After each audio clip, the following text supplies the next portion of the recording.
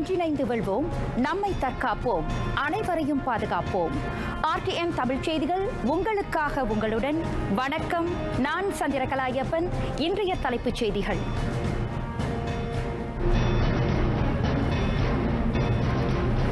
நம்பகத்தகுந்த தகவல்களை வழங்குவதில் ஆர்டிஎம் செய்தி அலைவரிசை முன்னணி ஓராண்டு நிறைவு நிகழ்ச்சியில் அமைச்சர் பெருமிதம்.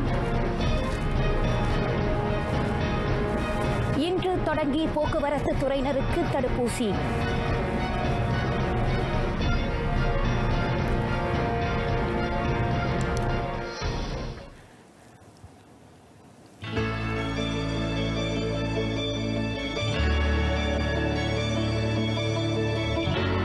Teruskan sokongan anda kepada kami di saluran berita RTM yang sentiasa memberikan berita yang terbaik dan terkini dari lokasi dan yang pastinya sahih untuk anda. Selamat menyambut ulang tahun saluran berita RTM yang pertama. Kami sentiasa bersiap sedia untuk menyampaikan pelbagai informasi penting untuk anda semua rakyat Malaysia. Selamat ulang tahun saluran berita RTM.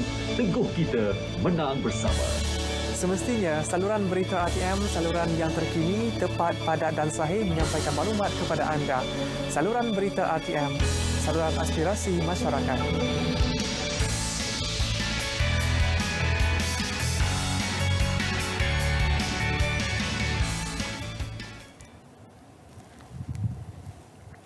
மற்றும் நெருக்கடி காலத்தில் மக்களுக்கு சரியான தகவல்களும் தரவுகளும் சென்றடைய வேண்டியது அவசியம்.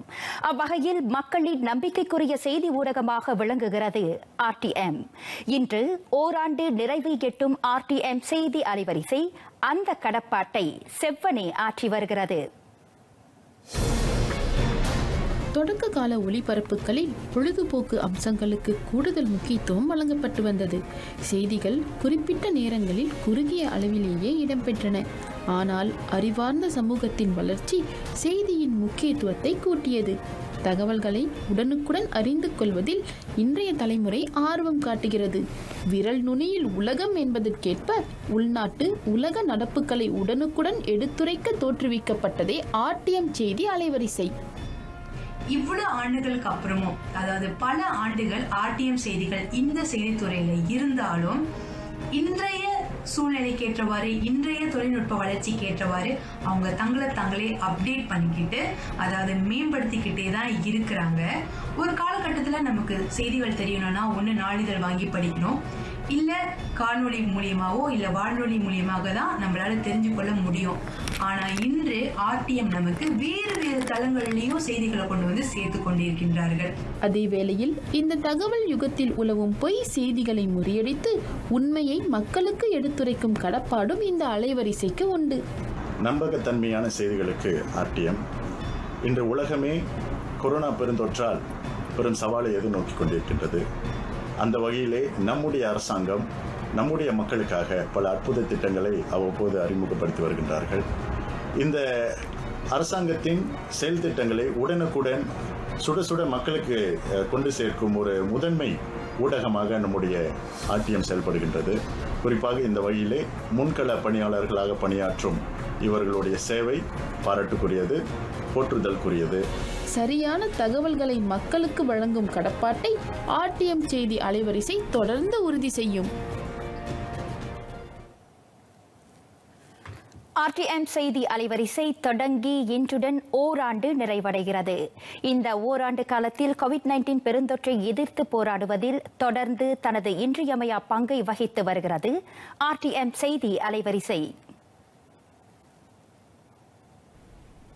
பெருந்தொற்று தொடர்பான பொய்ச் செய்திகளை களைவதில் தகவல் தொடர்பு துறையின் வியூக இயந்திரமாக ஆர்டிஎம் செய்தி அலைவரிசை செயல்பட்டு வருகிறது. தேசிய மீட்சி திட்டம் தேசிய நோய் எதிர்ப்பு திட்டம் ஆகியவை குறித்த அண்மைய நிலவரங்கள் உட்பட அரசாங்கம் முன்னெடுக்கும் முயற்சிகளையும் பல்வேறு தகவல்களையும் கொண்டு சேர்க்கும் தளமாக அது விளங்குகிறது.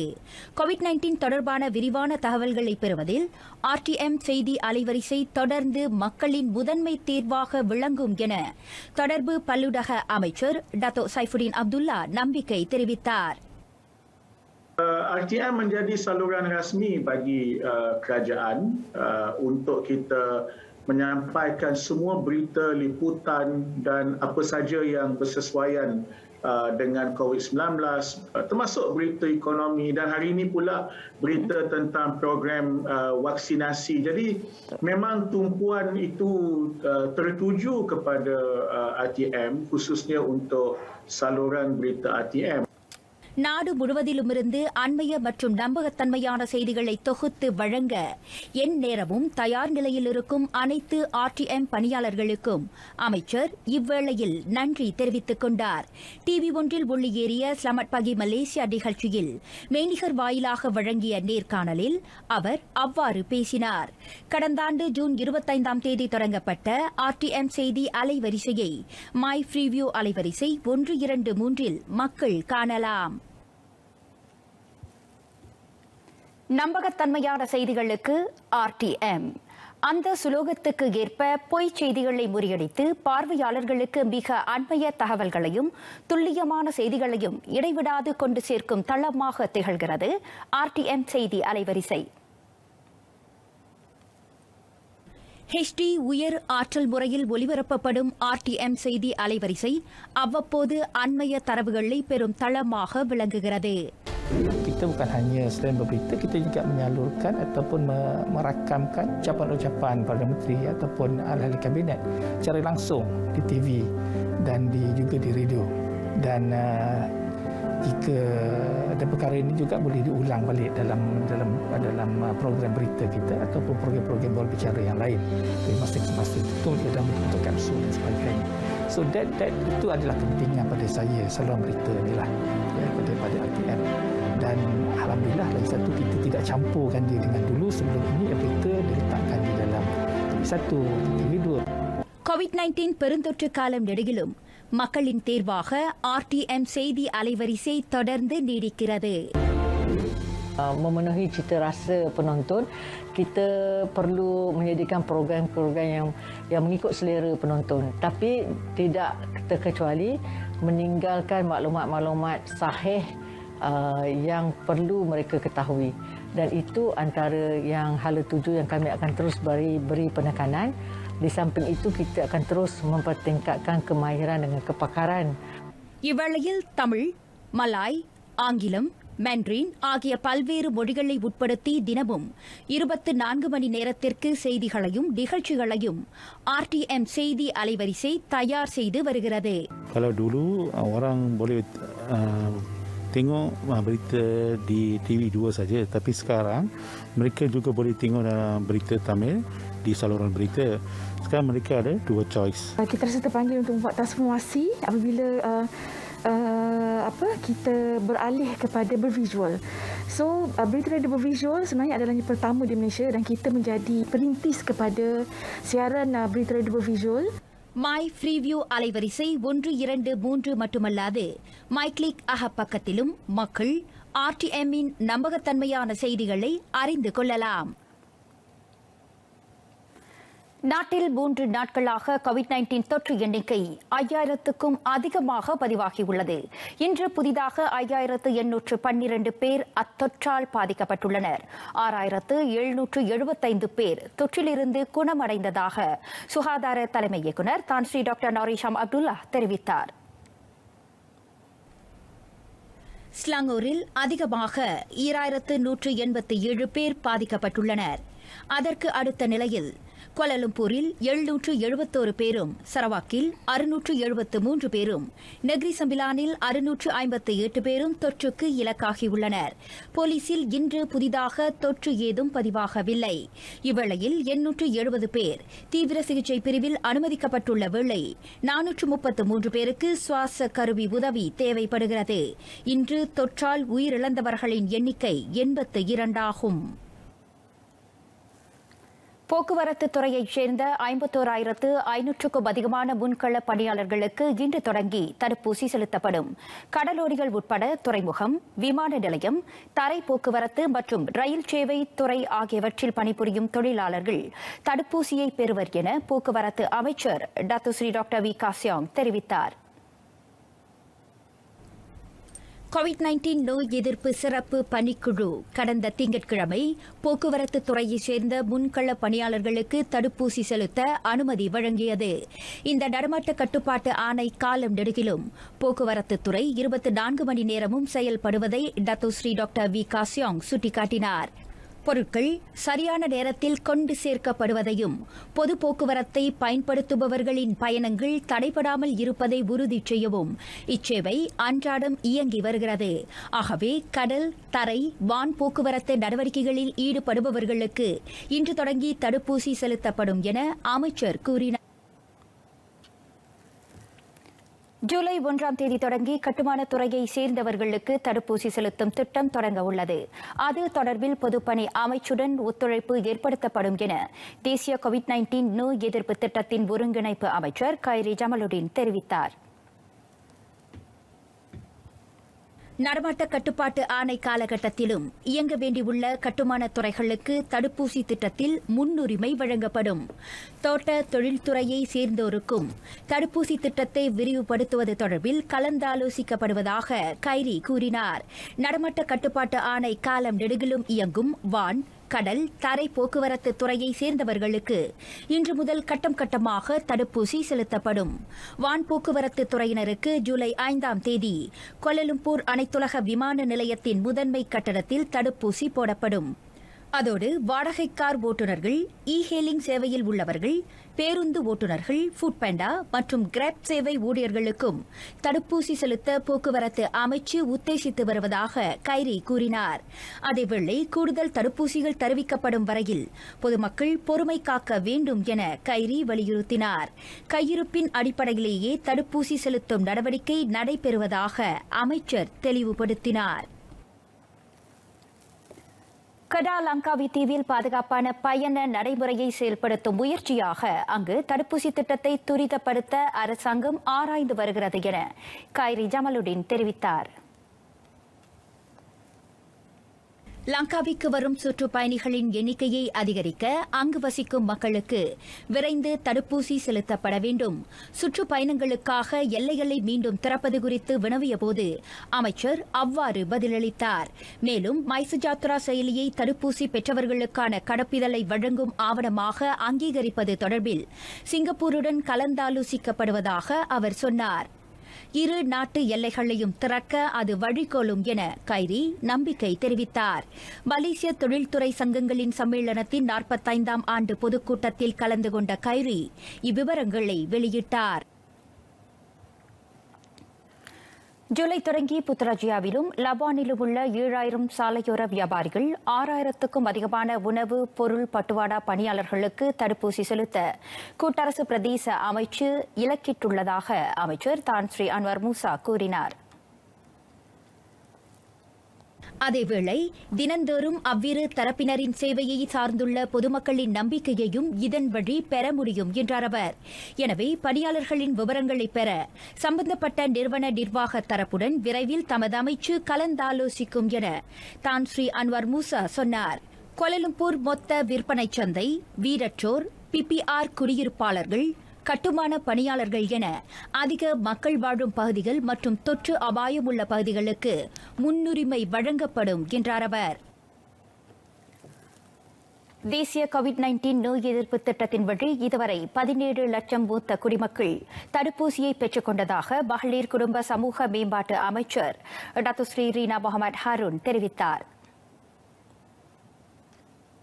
மலேசியாவில் உள்ள முப்பத்தி இரண்டு லட்சம் மூத்த குடிமக்களில் சுமார் இருபத்தாறு லட்சம் பேர் தடுப்பூசி செலுத்திக் கொள்ள தங்களை மாய் சுஜாத்ரா செயலில் பதிந்து கொண்டுள்ளனர். தேசிய கோவிட் நைன்டீன் நோய் எதிர்ப்பு திட்டத்தில் எத்தரப்பும் விடுபடவில்லை என்பது இதன் வழி புலப்படுவதாக Datuk Seri Rina Mohamed Harun கூறினார். ஸ்லாங்கூர் சப்பாங் டேசா விஸ்தாவில் பொதுமக்களுக்கு உதவிப் பொருட்களை எடுத்து வழங்கிய பின்னர் அமைச்சர் செய்தியாளர்களிடம் பேசினார்.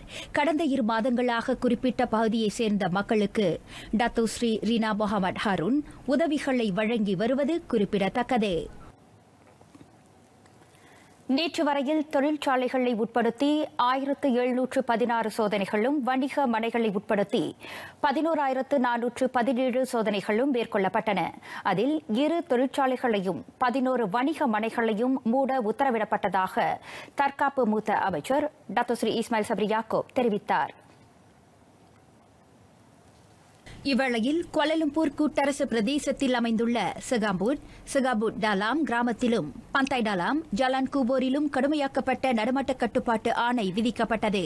இதனிடையே எஸ்ஓபி விதிகளை மீறிய குற்றத்திற்காக நேற்று அறுநூற்று தொன்னூற்றாறு பேர் கைது செய்யப்பட்டனர். அவர்களுள் அறுநூற்று எழுபத்தோரு பேருக்கு அபராதம் விதிக்கப்பட்ட வேளை இருபத்தைந்து பேர் தடுத்து வைக்கப்பட்டனர். அனுமதியின்றி மாநிலம் மற்றும் மாவட்டம் கடந்து பயணித்த குற்றத்திற்காக மிக அதிகமாக நூற்று அறுபத்து மூன்று பேர் கைதாகினர்.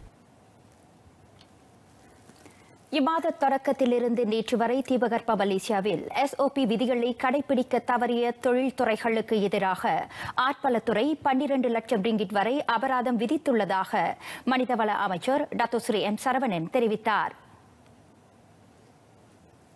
அவ்வகையில் நேற்று ஸ்லாங்கூர் பூச்சோங்கில் தொழில்துறை மீதான எஸ்ஓபி சோதனை நடவடிக்கைக்கு Datuk Seri Seri N Saravanan தலைமையேற்றார். ஆயிரத்து தொள்ளாயிரத்து எண்பத்தி எட்டு தொற்று நோய் கட்டுப்பாட்டு தடுப்பு சட்டம் ஆயிரத்து தொள்ளாயிரத்து தொன்னூற்று நான்கு பணியிட சுகாதார பாதுகாப்பு சட்டம் மற்றும் ஆயிரத்து தொள்ளாயிரத்து அறுபத்தி ஏழு தொழிற்சாலை இயந்திர சட்டம் ஆகியவற்றின் விதிகளுக்கு ஏற்ப அச்சோதனை நடத்தப்பட்டது. வீட்டில் இருந்தவாறு அலுவல் பணிகளை மேற்கொள்ளும் அணுகுமுறையின் கீழ் முப்பது முதல் நாற்பது விழுக்காட்டினர் மட்டுமே பணியிடத்தில் பணிபுரிய அனுமதிக்கப்பட்டுள்ளனர். ஆனால் சில முதலாளிமார்கள் அறுபது முதல் எண்பது விழுக்காட்டு பணியாளர்கள் வரை அனுமதித்திருப்பது சோதனைகளின் வழி தெரியவந்தது. சில தொழில் துறைகள் செயல்பாட்டு அனுமதியை பெற போலி ஆவணங்களை சமர்ப்பித்திருப்பது கண்டறியப்பட்டதை அடுத்து அவற்றை உடனடியாக மூட உத்தரவிட்டதாக அமைச்சர் சொன்னார். இதன் மூலமாக மக்களுக்கு ஒரு விழிப்புணர்ச்சி அதே நேரத்தில் தொழிற்சாலை நடத்துகின்ற முதலாளிமார்களுக்கு ஒரு அச்சத்தையும் ஏற்படுத்தக்கூடிய வகையில் நம்முடைய நடவடிக்கை அமைந்திருக்கின்றது. நம்முடைய அடிப்படை நோக்கம் இதுபோன்ற தொடர் நடவடிக்கையின் மூலமாக வேலையிடங்களில் நோய் பற்று தொற்று பருவதற்கான சூழ்நிலையை குறைத்துக் கொள்வதும் அதே நேரத்தில் தொழிலாளிகளுடைய நலன் பெறுவதற்குமான முயற்சி அது அனைவரும் இதற்கு ஒத்துழைக்க வேண்டியது கட்டாய காலத்தில் நம்முடைய கட்டாயம். நாடாளுமன்ற கூட்டத்தொடரை நேரடியாகவும் மெய்நிகர் வாயிலாகவும் ஒரு சேர ஆகஸ்ட் மாத இறுதியில் அல்லது செப்டம்பர் மாத முதல் வாரத்தில் நடத்த முடியும் என எதிர்பார்க்கப்படுகிறது. மேலவைத் தலைவர் தான் ஸ்ரீ டாக்டர் ரைசியா திமும் மக்களவைத் தலைவர் டத்தோ அசார் அசிசான் ஹருனும் இணைந்து வெளியிட்ட அறிக்கையில் அவ்வாறு குறிப்பிடப்பட்டுள்ளது. நாடாளுமன்ற கூட்டத்தை நடத்துவதற்கு முன்னர் அவை மற்றும் கூட்ட விதிகள் மீதான செயற்குழுக்கள் நிலைகளில் காணப்படும் அனைத்து விதமான சட்டக்கூறுகளுக்கு இம்மாத இறுதியில் ஒப்புதல் அளிக்கப்படும் என எதிர்பார்க்கப்படுகிறது. தேசிய பாதுகாப்பு மன்றமும் சுகாதார அமைச்சும் வரையறுத்திருக்கும் கடும் எஸ்ஓபி விதிகளை பின்பற்றி நாடாளுமன்ற சிறப்பு கூட்டம் நடத்தப்படும். நாடாளுமன்ற கூட்டத்தை நேரடியாகவும் மெய்நிகர் வாயிலாகவும் ஒரு சேர நடத்துவதற்கான வசதிகளை தயார் செய்வதற்கு அவகாசம் தேவைப்படுவதாக அந்த கூட்டறிக்கையில் மேலும் குறிப்பிடப்பட்டுள்ளது.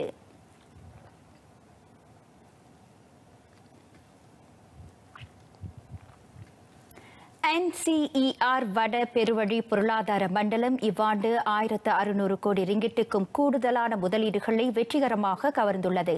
அதன் வாயிலாக பத்தொன்பதாயிரத்திற்கும் மேற்பட்ட வேலை வாய்ப்புகளை ஏற்படுத்த முடியும் என பிரதமர் தான்சி மொய்தீன் யாசின் நம்பிக்கை தெரிவித்துள்ளார். கோவிட் நைன்டீன் பெருந்தொற்றை சமாளிக்கும் அரசின் முயற்சி மற்றும் நாட்டின் பொருளாதார அடிப்படைகள் மீது முதலீட்டாளர்கள் கொண்டிருக்கும் அசைக்க முடியாத நம்பிக்கையை அது புலப்படுத்துகிறது. குறிப்பாக கெடா பினாங்கு பெரா பர்லீஸ் ஆகிய மாநிலங்களில் எட்டு பெரு நிறுவனங்கள் அதிக நன்மைகளை தரக்கூடிய துறைகளில் முதலீடு செய்ய கடப்பாடு கொண்டிருப்பதாக தான் ஸ்ரீ முஹிடின் குறிப்பிட்டார். ஹாங்செங் இண்டஸ்ட்ரீஸ் நிறுவனமும் எல்டிஎஸ் லாஜிஸ்டிக் நிறுவனமும் கடா ரப்பர் நகர் திட்டத்தில் முதலீடு செய்யவிருப்பதை அவர் சுட்டிக்காட்டினார். நாட்டின் முதலாவது ரப்பர் தொழில் பேட்டை அதுவாகும். மருத்துவ உபகரண தொழில்துறை எஸ்பென் கிளவ் மற்றும் எமோரியம் ரிசோர்சஸ் நிறுவனங்களின் முதலீடுகளை கவர்ந்துள்ளன. என்சிஇஆர் வளர்ச்சியை ஊக்குவிக்கும் முக்கிய உந்து சக்தியாக விளங்கும் மின்னியல் மின்சாரத்துறை இன்டெல் டெக்னாலஜி மற்றும் இன்டெல் மைக்ரோ எலக்ட்ரானிக்ஸ் நிறுவனங்களை கவர்ந்துள்ளன. இருபத்தாறாவது என்சிஐஏ வட பெருவழி செயலாக்க உயர் அதிகாரிகளின் மன்ற கூட்டத்திற்கு இயங்கலை மூலம் தலைமையேற்ற பிரதமர் இவ்விவரங்களை வெளியிட்டார். தேசிய போலீஸ் படையின் துணைத் தலைவராக டத்தோஸ்ரீ ஸ்ரீ மஸ்லான் லாசிம் நியமிக்கப்பட்டுள்ளார். இன்று தொடங்கி அவரது பதவிக்காலம் அமலுக்கு வருவதாக உள்துறை அமைச்சர் டத்தோஸ்ரீ ஹம்சா சைனுடீன் அறிவித்தார். புத்ராஜயாவில் பேரரசரின் ஒப்புதல் பெற்ற தேசிய போலீஸ் படை துணைத் தலைவருக்கான பதவி நியமன கடிதத்தை அமைச்சர் டத்துஸ்ரீ மஸ்லான் லாசிமிடம் எடுத்து வழங்கினார். அந்நிகழ்ச்சியில் தேசிய போலீஸ் படை தலைவர் Datuk Seri Acryl Sani Abdullah சானியும் கலந்து கொண்டார். கடா கொத்தாஸ்தாரில் பிறப்பிடமாக கொண்ட ஐம்பத்து ஒன்பது வயதான டத்தோ ஸ்ரீ மஸ்லான் பொருளாதார வள துறையில் இயங்கலை பட்டத்தையும் மனிதவள மேம்பாட்டுத் துறையில் முதுகலை பட்டமும் கொண்டுள்ளார். இதற்கு முன் அவர் கோலலும்பூர் மற்றும் கிளந்தான் மாநில போலீஸ் தலைவராக பதவி வகித்திருக்கிறார். கோலலும்பூரில் வசிப்பவர்களின் நலன் தொடர்ந்து பேணப்படும் என கூட்டரசு பிரதேச துணை அமைச்சர் டாக்டர் ஸ்ரீ டாக்டர் சந்தாராகுமார் தெரிவித்தார். அவ்வகையில் டிபிகேஎல் கோலலும்பூர் மாநகர் மன்றத்தின் கீழ் பிபிஆர் மக்கள் வீடமைப்பு திட்டத்திற்கு விண்ணப்பித்தவர்களில் பத்து பேருக்கு இன்று அதற்கான அதிகாரப்பூர்வ கடிதங்கள் வழங்கப்பட்டன. பத்து பேருக்கு நம்ம கொடுக்க போகிறோம் அதில் பார்த்தீங்கன்னாக்கா வந்து ஒம்பது பேர் வந்து இந்தியர்கள். அப்போ வந்து பிகேபி முடிஞ்ச வரைக்கும் நீங்கள் வந்து அந்த வீட்டுக்கு வந்து நீங்கள் வந்து போகலாம் பாருங்களேன். இந்தியர்கள் கோலம்பூர் வந்து பீஃபோட ரொம்ப பேர் இருக்காங்க. முடிஞ்ச வரைக்கும் நம்ம இந்தமாரி வீடு வாய்ப்பு வரும்போது நம்ம வந்து கொடுக்கணும். இதுபோன்று இருமுறை பிபிஆர் வீடுகள் பி நாற்பது குறைந்த வருவாய் பெறும் மக்களுக்கு வழங்கப்பட்டுள்ளன. முதல் முறை இருபது பேருக்கும் இரண்டாவது முறை பத்து பேருக்கும் அவ்வீடுகள் வழங்கப்பட்டதை டத்துஸ்ரீ டாக்டர் சந்தாரா சுட்டிக்காட்டினாா் நகரும் ஹாங்காங்கில் பண்டைய கலைநுட்ப கட்டடங்களுக்கு பதிலாக வான் உயர் கோபுரங்கள் எழுப்பப்படுகின்றன. தொன்மை வாய்ந்த கட்டடக்கலையை பராமரிக்கும் பொருட்டு மிக சிறிய அளவில் கடந்த கால கலை நயத்தை பயன்படுத்தி ஹாங்காங் நகரை வடிவமைத்து காட்சிக்கு வைத்துள்ளனர். கட்டுமான மாதிரி வடிவமைப்பாளர்கள் இருவர். அந்த காட்சி தொகுப்புடன் விடைபெறுகிறேன். எங்களோடு இணைந்ததற்கு நன்றி.